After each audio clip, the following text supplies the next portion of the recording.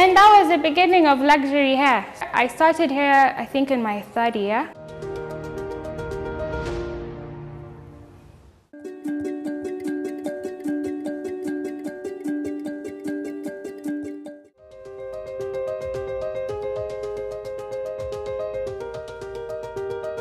So after I quit my job, it's a funny thing, I met a lady who was doing hair.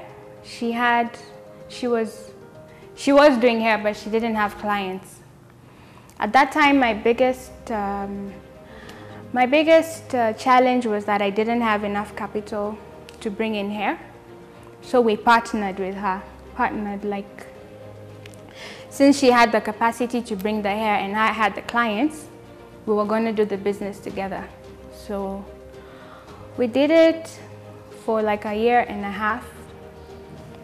And it really grew because it really grew when I partnered with her. But when she said that we wouldn't continue working together, I had to start again from scratch. But the advantage is I had the clients. The clients knew Angie. That is where Luxury Hair by Angie started. Because when we were in partnership, it was partnership in terms of logistics, but everybody knew this is Angie's hair. So I went back home. I was, I remember it was August, I think. I went back home. I had to start from scratch. So I sat down for like two weeks re-strategizing. I came up with a business plan. I, I went and officiated luxury hair.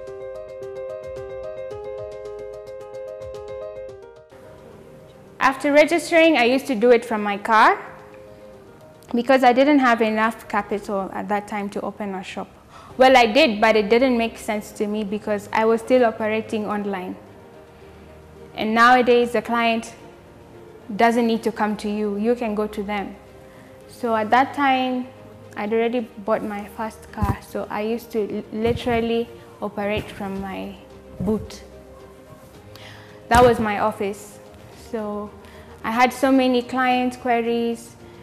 Some would come to where I was at home. Others would go to, I would go to where they are from their home to their office. And it was such a personalized um, touch to my business because that's when people, that's when I realized people value Angie. Up to date, there are clients who cannot buy hair if Angie is not there. So where are you? If I'm not in the country, when are you coming back? I need to deal with you because I, I believe they're able to, I don't know, understand me better or relate to me, I don't know. Even when it comes to pieces, somebody will be like, I want the, you, did you see the shoot Angie did? I want Angie's hair, that long straight one, that's what I want, you know? And that's why I was like, that, that is me, like luxury hair is me, nobody can take it away from me.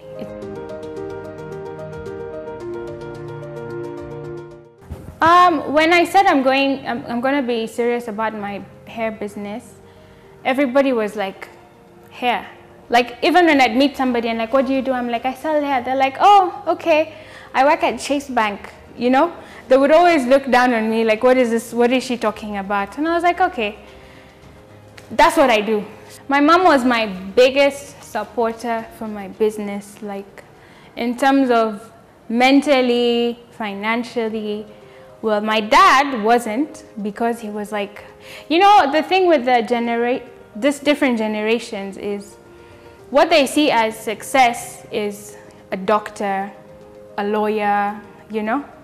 But I, my dad wasn't seeing how he, I've taken her to a good school, she has a degree, then she's doing her master's, and then she's telling me she wants to, you know, do hair. Like it didn't make sense to him. So at the beginning, he wasn't for it. He was like, no, why don't you get a job? What is this hair? What do you know about it? You know?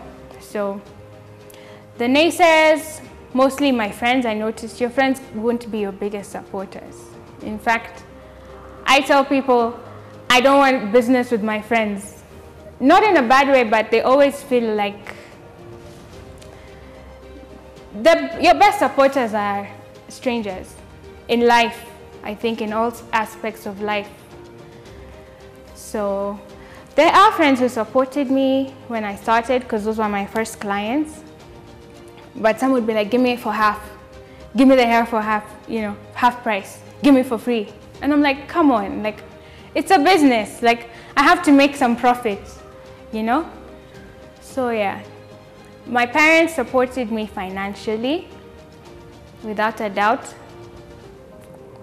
Especially my dad started supporting me when he could see progress with the business, when he could see that I had become fully independent. I wasn't calling him for money, you know. He'd come to Nairobi, I've moved out. When I bought a car, he's like, how are you buying a car? How did this happen, you know? I used to tell him, Dad, I want to buy a car. He's like, oh, you want to buy a car? And the next thing he told me the car, he's like, what? He says, my mom, what is this girl doing? What is this hair business, you know? So that's when he got so much interest in the in hair.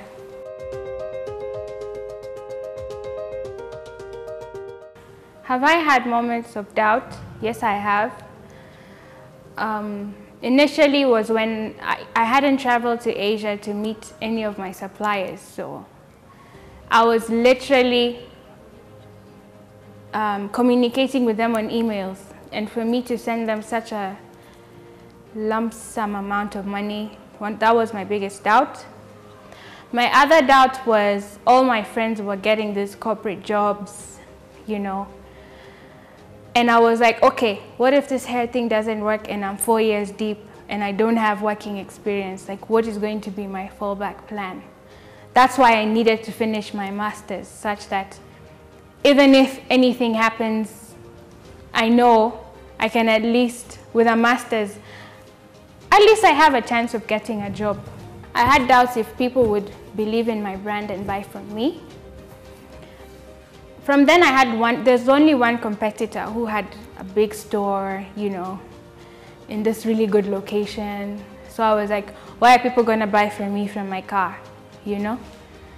And imagine they did, like, that was, that was when I was like, oh my God, God, you're really coming through for me. When I started my business, the market was so raw. It was so, there was need, a very serious need for hair people starting to do hair now, I'm sorry, but it's not going to be as easy as then because at that time there was a need for hair. That is why people would follow you to the car because this was a new item that they've not seen. They've only been seeing fiber. So you're giving them Cambodian hair. The hardest part about starting out was capital because I was like, I need volume. I cannot afford it. So what am I going to do? So at that point, I accepted my situation as is, which was I didn't have much, but I can start with the little I had. So with the little I had, I started. You know, I did a Swift to my supplier's account, brought the hair. And that's the thing with business. You can never have enough capital to start. Start with the little you have. Slowly, slowly, it's going to generate and the next thing you know, you're comfortably, you know, operating. If worse comes to worse, get a loan. Where do I source my hair from? Well, different Asian countries.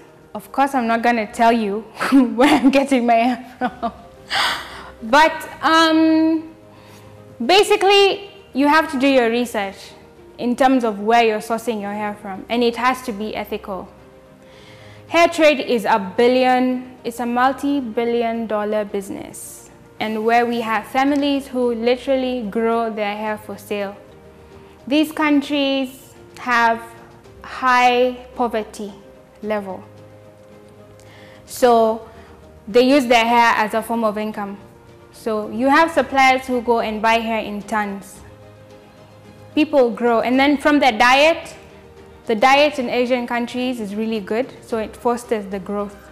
And they have thick, like you can find in Indian countries, the hair is a bit thinner but longer. You can find in Vietnam, Vietnam because of their diet, the hair is thicker and has more luster. So that is how you're able to differentiate each hair um, with regards to a client's needs.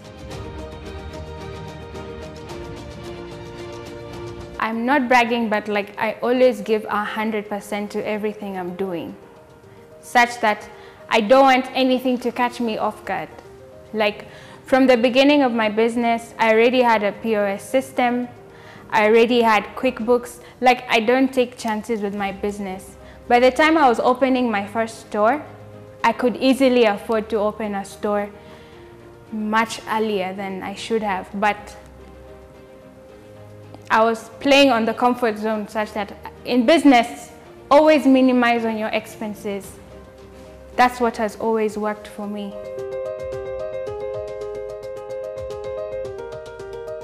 Uh, luxury hair as an organization, we're such a small team. As I said, business cut your expenses as much as you can. Like when I started, I was the accountant, I was doing marketing, I was doing sales, I was doing everything, I was a sales girl. But now at least we've grown, we're a team of about six people. And I, it's, it's a family. I don't believe, like I'm not bossy to the people I work with, we, we're more of a family. Like quarterly, we go for trips, we go for dinner, we go for drinks, you know. When, when there's no business, like I'll sit with my staff and we'll joke. Like, I believe you should be a family in a business. It shouldn't be so formal, you know, such that well, I have my moments. Like if you're not doing your job, I'm gonna come at you because you're affecting my cash flow. But generally, luxury hair is just a, a, a, family. Like we love each other. Like on birthdays, they surprise me. I'll surprise them. Like it's it's just it feels like home. Even when you come to luxury hair, it should feel like home. That's what matters.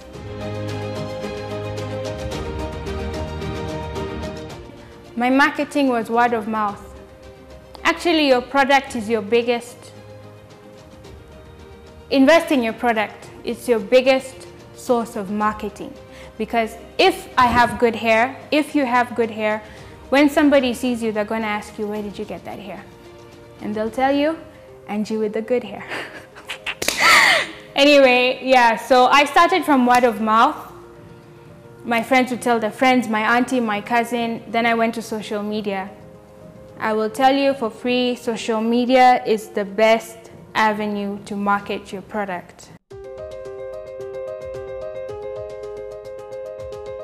Competition, I believe there's, what's the population of Kenya? We're about 40 million, right?